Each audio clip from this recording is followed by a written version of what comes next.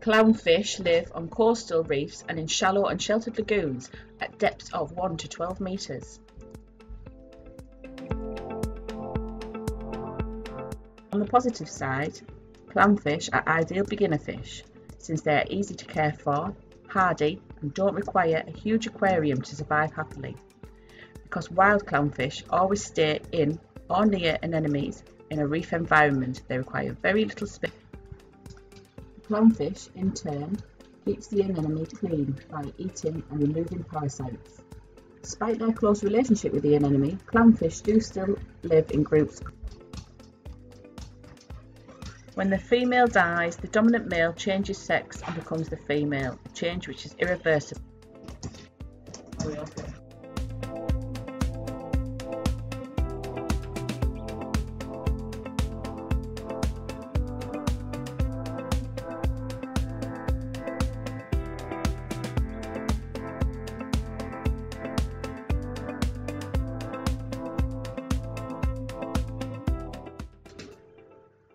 Yes, unfortunately, clownfish are usually quite aggressive fish.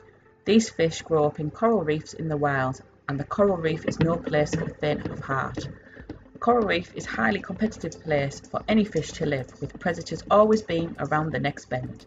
It's a relentless fight for survival, and it's why these fish are so aggressive and territorial. No, the change is irreversible.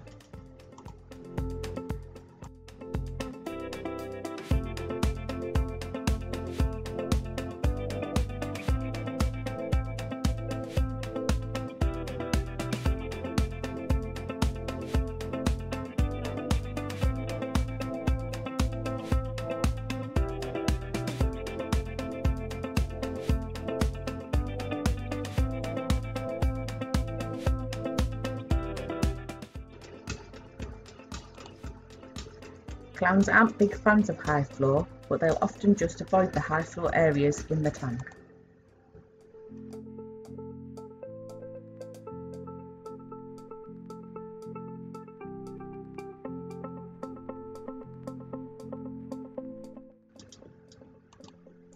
Clownfish aren't dangerous to humans, however, clownfish have a few ocean predators including stingrays, sharks, eels and other big fish, but their greatest threat is humans.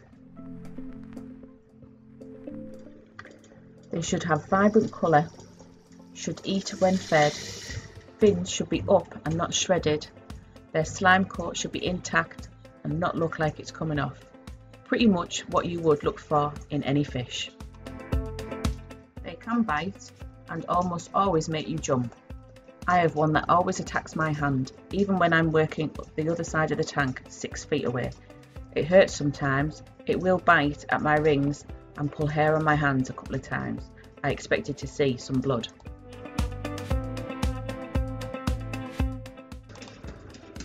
Clownfish need at least 20 gallon tank, so they have enough room to both hide and explore. You will need a larger tank if you want to keep an anemone too. For each additional clownfish, allow a further 10 gallons. When kept in an aquarium, these ferocious omnivores will gladly eat a large variety of fish food. You can even feed them on flake fish food, which is highly rare for, for saltwater fish to eat.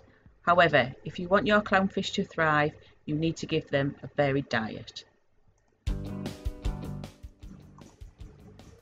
Hanging out in the corner is a sign of insecurity. I observe it a lot with those that got beaten up by other fish, usually also clowns, in the tank.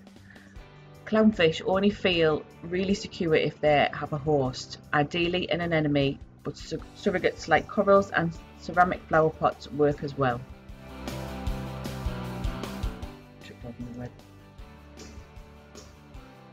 Clownfish are omnivores, which means they eat meat and plants. They typically eat algae, zooplankton, worms and small crustaceans, basically anything. Like humans, they love staying in the dark, usually at the bottom of the tank to stay asleep. In the ocean, clownfish have the very same characteristics and they also love to go down to the most comfortable corals to sleep within the presence of the light. Oh, without, not within.